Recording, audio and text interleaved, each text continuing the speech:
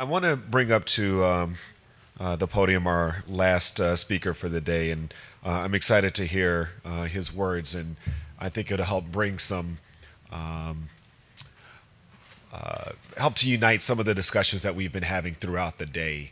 Um, and our final speaker is uh, student Dr. Greg Galeazzi. How did that How did that work? Did I get the Yahtzee? yeah. Well, Okay. Um, he is a uh, class of 2021 Harvard Medical student. Uh, he is uh, a retired U.S. Army captain. And uh, I think he um, shares a unique experience um, based off of uh, his life uh, and where he's at, and also his future directions. And with that, I will keep it brief and turn it back over to you, Greg.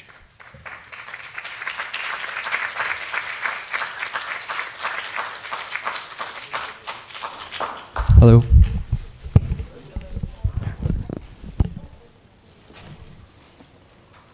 All right, so I've only got uh, about 15 or 20 minutes here to talk. So I'm not going to go into my bio, but it's in the little pamphlet thing you have there. Um, and I don't have a slide deck. This is all you're going to see. So, um, so I'm, I'm going to go into this, but I just want to put out a quick disclaimer that I'm going to be talking today about my personal experiences for the most part. Um, and I'm going to be talking about disability, but I'm fully aware that the umbrella term disability covers a very broad spectrum of conditions. Um, and I tried to figure out a way to kind of work all of it in there, but not really going to be able to. So when I'm talking today about disability, it's going to be about my experiences and generally about mobility um, disabilities. Um, so I kind of want to start just briefly with a little story about what's something that happened in the first couple months of medical school over at next door at Harvard, we get thrown in their first year pretty quickly into clinical exp experiences, including um, on Wednesday afternoons. Uh, we're often in the hospitals at the Brigham or BI or Mass General, um, and we're in partners, two medical students to one physician preceptor, and we're conducting physical exams and patient history interviews on inpatients in the hospital.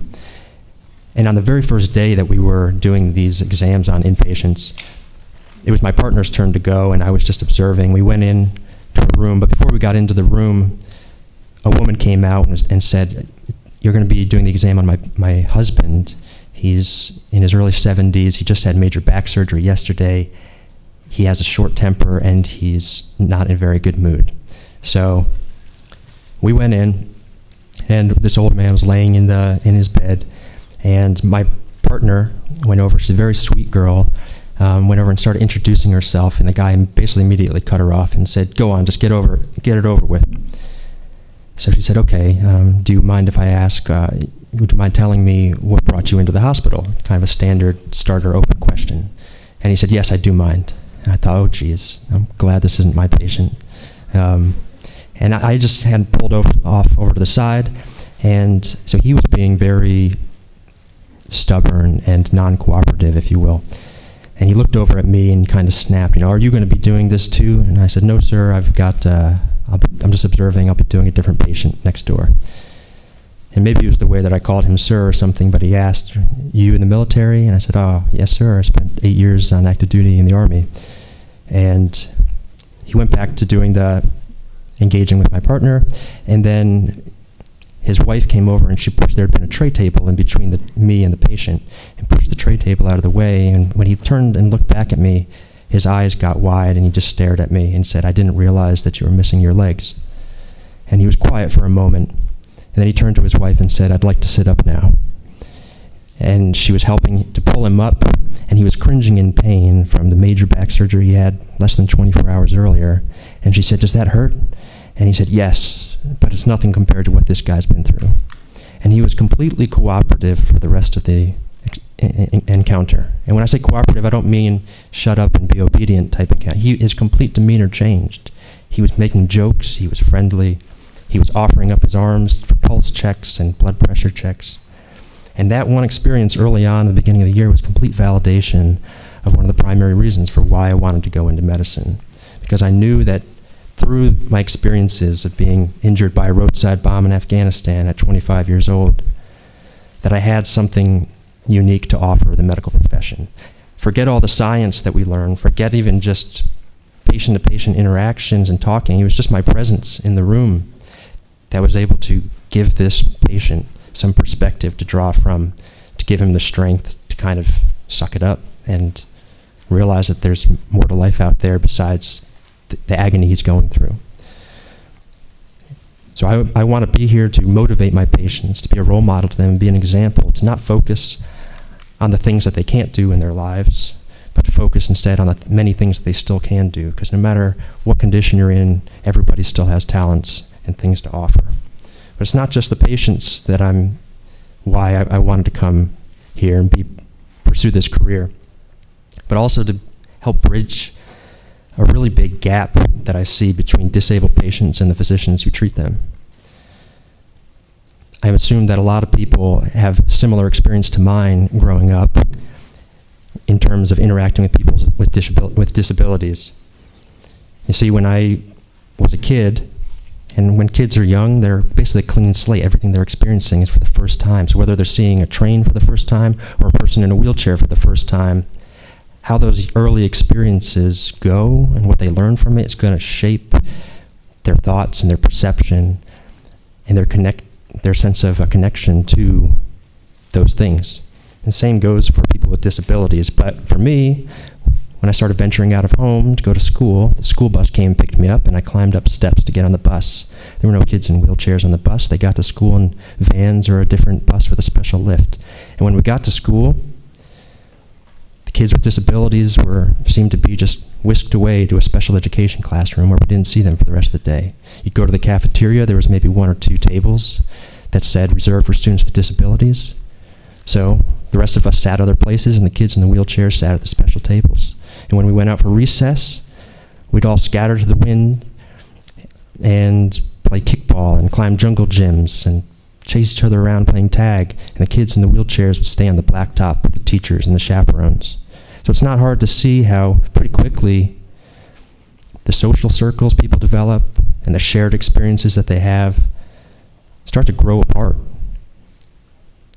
And so, honestly, it's no wonder why we have a general population, policymakers, and yes, medical professionals who lack a fundamental understanding of people with disabilities.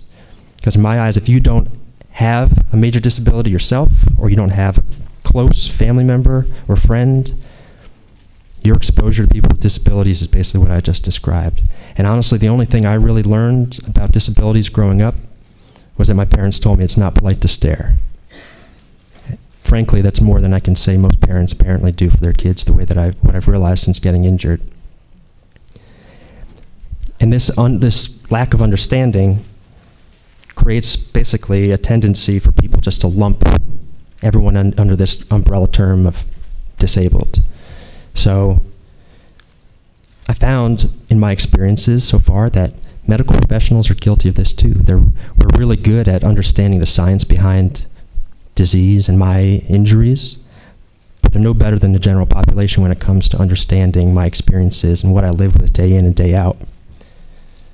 One of the commentators in the previous panel mentioned a, a very poor job at assessing functionality, um, and I'd agree because when I have gone to see medical professionals and they're interviewing me for the first time and talking to me, and I tell them things like, "Oh yeah, so I drove down and there's this shop. You can drive. Great, great job. Good for you." Or, "What do you do for exercise?" "Oh, I swim. You can swim. That's that's incredible." Or, "Oh, I need you to fill out this questionnaire, but um, oh, I could fill it out for you if you need assistance." And while it can be fun sometimes to shatter people's expectations, the truth is that this leaves me with the sinking feeling that these people are grossly underestimating me. To reword that, I feel like medical professionals and people in general tend to just lump me into this group of incompetent disabled people. And it's a very sinking feeling, especially when it came time for me to start considering applying to medical school, realizing that this view is so pervasive, even with physicians, people that are working with people with illnesses and diseases day in and day out, they view me as, tend to view me as incompetent. I wasn't sure how medical schools were going to receive me. And to be honest, I didn't have much faith in the you know, disclaimer that they put out everywhere that says we do not discriminate based off race, gender, disability, blah, blah, blah, blah, blah. Because the truth is, medical schools don't tell you why they reject you. You just get a rejection notice.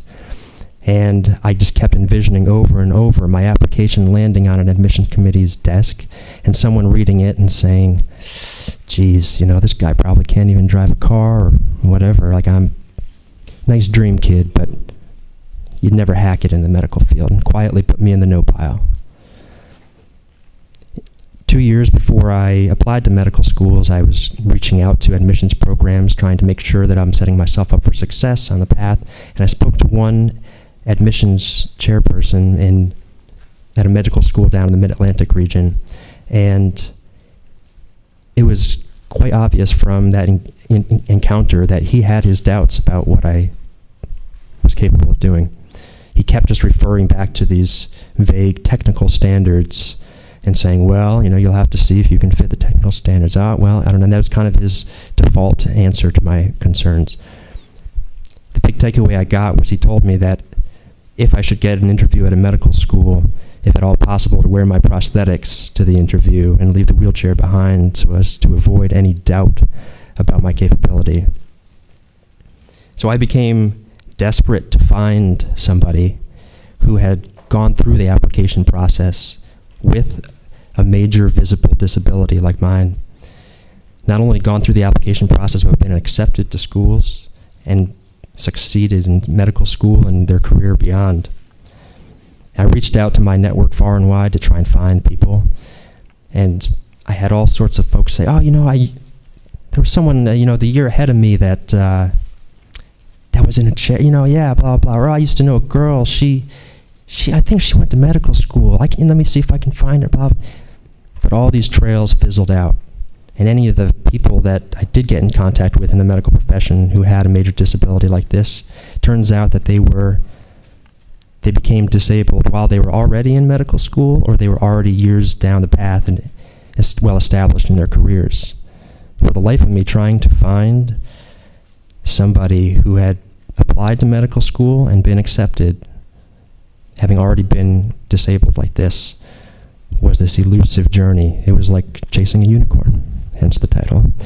And I did eventually find a couple examples, and they were good motivators for me to continue down this path and showed me that it was possible. Um, and so I applied to 19 schools, not knowing again what how they'd receive me. Um, and when I'd network with folks and say, "What do you what do you want? If I can connect you with someone at the at the school or something like that. What can I do for you? And I said, all I want is to be able to get in to do an interview because what people if people see on paper is different than when they meet me face to face. And I'd rather be able to argue and defend myself face to face. If you have that person has any doubts, I want to talk about it. I want to hear about it because it doesn't take much for me to show somebody whatever ideas they have in their head, any sort of biases that they're thinking about, I can shatter that pretty quickly. And so, of the 19 schools which I applied, I was invited for five interviews, and all five places I interviewed, I got accepted. I was rejected from the other schools. And, but I only needed to get into one place, and I guess Harvard is an all right place to be. And um, so I'm here. And like I said, I'm not just here to motivate my patients, but I'm also here to help bridge a gap with my peers and my future colleagues in the medical profession. Because honestly, you heard about that experience I had about these this dividing paths of people with disabilities and the rest of us. When I was 25 and got injured, the, before that this major incident, the worst in injury I ever had was a sprained ankle. And I will admit, I was completely ignorant of what life was like to be disabled and my eyes have been opened and my mind has been expanded beyond belief that how challenging it is to live in this world like previous person said you know this you know, to live in a world that's not built for us. Um, and so the only real way to bridge this gap is and to understand each other is by interacting with one another and engaging with each other and to be able, how can we understand each other with the only exposure a doctor has is with a 15 minute doctor's appointment? This understanding each other, though, it's not just a nice thing to say. It's not just politically correct to do or say, oh, we need to have empathy in this profession, so let's, let's get to know disabled folks. No. On the contrary, I think it's quite an essential element if we want to truly optimize our care to patients and people with disabilities. If we don't understand the day to day challenges people are living with, if we don't understand the challenges their families are facing, and if we don't understand their functionality and what they're actually truly capable of, how can we design accurate and ideal treatment plans or connect them with the resources that they need to be able to optimize their recovery? So my solution is fairly straightforward, at least part of the solution, and that's to increase the number of people in the medical profession with disabilities. I mean, it's not rocket surgery here. This is just a matter of, you know, training alongside people with disabilities, just like any any group, any racial or sexuality or ethnic group or whatever, we need to just engage with people. We need to interact. But it'd be pretty weird just to go find a random disabled person on the street and say, hey, will you be my friend? Or can I learn from you about disabilities? Because I need to. No, that'd be weird. You come to me, I'm going to tell you some harsh words, you know? And so the best thing to do is just when you're learning medicine and you're you're sitting right next to someone in class and you're working on projects together and you're socializing together. You'd be surprised at how much a person can learn and gain insight into my life and my experiences and my challenges just by going out to lunch. You know, having a classmate come with me and help me get my wheelchair into the car and say, damn, I didn't realize how heavy this thing was. Or on the way to the restaurant and it starts raining and he breaks out an umbrella and realizes, oh, you can't really hold an umbrella, not when you need your hands to push yourself around. Then we get to the restaurant, and we and for the first time, the student eh, says, "I've been here a dozen times, and I never even never even crossed my mind, but it's not wheelchair accessible." Or heaven forbid, what's actually happened more than once in the past. We get to the table, and the waiter comes over and says, "Hey, it's Lieutenant Dan." So, through these experiences, simple interactions like this, going out to lunch, studying with someone, hearing their life story, people learn about me, they learn about others, they learn about challenges, and they start to see me less as, hey, it's the disabled guy in the wheelchair missing his legs, and they simply come to know me as Greg. Thank you very much.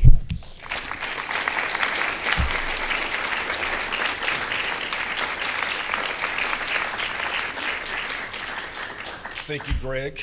We have a few minutes for questions, so I'd like to uh, see if there's anybody in the audience with questions. Hello, student Dr. Galeazzi. Hi there. So I'm Dr. Okanlami, and I'm at Michigan. I haven't had the pleasure of meeting you yet, but I'm looking forward to connecting after this. Everything that you mentioned is something that I completely agree with. This is not a question, it's actually just take an opportunity to tell him that we've actually created a Docs with Disabilities campaign and just got off the call before I came here about a Docs with Disabilities mentoring campaign where we do exactly what you just asked for is connecting people with disabilities to then know who those people are so you don't have to reinvent the wheel and everybody reinventing the wheel every single time they apply to say where are the programs that are accessible, what are the programs that are culturally accessible that actually are going to foster a community and a place that you can thrive when you get there, who are the students that have gone before you, who are the people that are willing to then help you along the way. So that's something that we're trying to create, and it is hard because, as you said, it's you, you, can't just roll down the street and ask the next person in a wheelchair how their medical school class was. And so I think that this is thank you to, to Harvard for hosting this because this is how these things happen is that you start making these connections and then you keep those connections and from doing those things even though there's a lot of work being done right here and a lot of people that you could connect with here the, the network gets even stronger when we continue to build the bridges across institutions. So hopefully we can connect at some point. Thank you for your work. Looking forward to continuing to follow your career. And if I can be of any help as it goes along, we'll be in touch. Great. Thank you. There's a unicorn. Found one. And a black unicorn at that, too.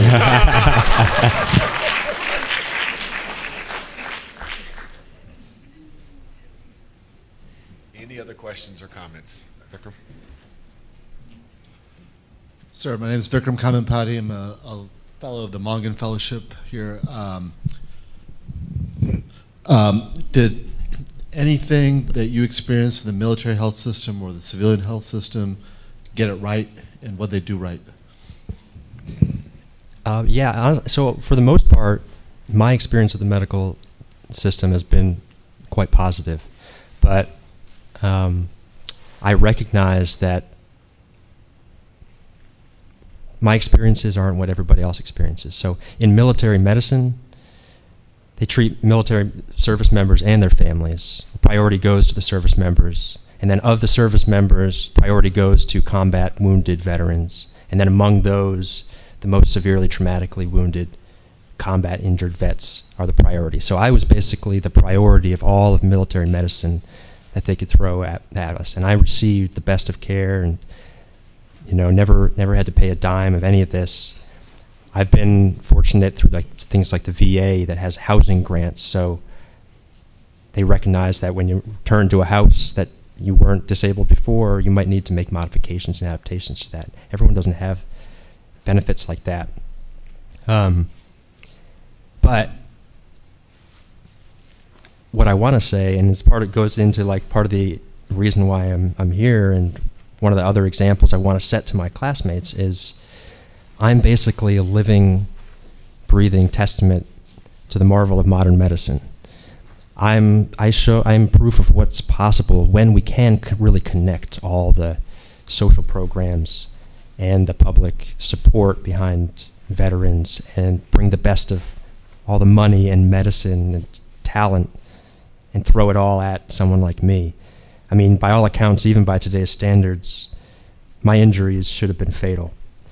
And but these days, medicine and our understanding of injuries has advanced so far that for folks, a handful of folks like me, we're not just surviving these injuries, but we're returning to the workforce, returning to lead socially active lives, independent lives. Um, and I often think about how the physicians that treated me, I don't want to say easily, but they simply could have just saved my life, stopped the bleeding, treat me with some antibiotics, get me stable, pat themselves on the back and say, hey, we saved a guy's life. We did good.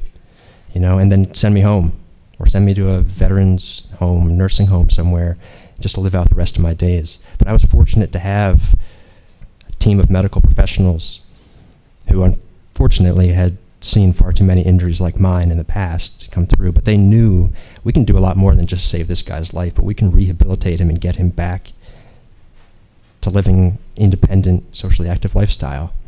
And I'm grateful for it. And so that's part of what I want to be here for and be a testament to my peers and the medical professionals is to show them, hey, don't just be uncomfortable with people's disabilities and just settle.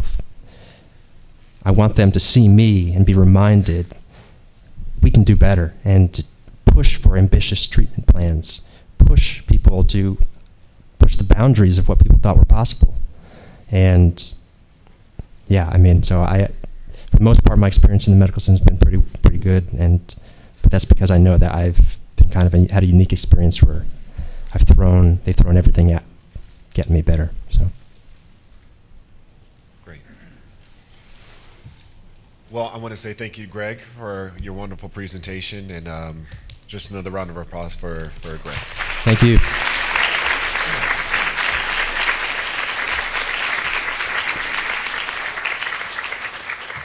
So this is bringing uh, this equity and social justice lecture series to a close. Um, there's a couple housekeeping notes that Dr. Fleming wanted me to remind everyone for the Reed Scholars uh, at 1.30, which is in four minutes. We need to be back across the street in room 007 at uh, TMEC for the business meeting. So as soon as we finish up here, you need to hustle across the street.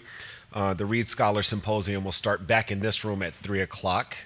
Um, and uh, it's going to, again, be another uh, amazing set of discussions. So please be back here at 3 p.m. for uh, the Reed Scholar Symposium. Uh, I want to say thank you to all of our panelists. I want to say thank you to all of our moderators and presenters. Thank you for being here and helping us uh, to have this discussion around disability. And um, I think there are a lot of key lessons that were learned. Um, uh, I tried to take down as many notes as possible, but there were so many sort of awe-inspiring, awe-inspiring comments and quotes.